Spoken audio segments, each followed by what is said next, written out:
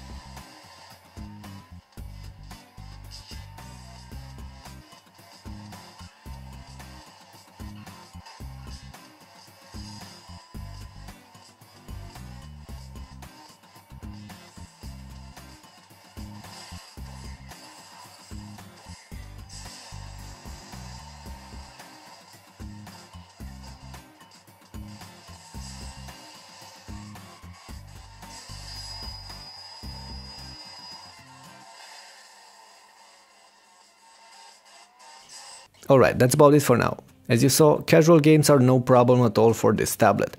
However, more serious titles aren't always running smoothly. Even so, if you're fine with occasional stuttering and lag, you can play titles like Real Racing 3 or GTA Vice City on the MemoPad FHD 10. However, if you're looking for a flawless gaming experience on a 10-inch Android slate, this Asus tablet won't cut it. That's about it for now, but don't forget to check out my detailed review for the MemoPad FHD 10, you'll find it on the channel. Also, make sure to subscribe for my future updates and let me know in the comments below what you think about this tablet. Catch you later.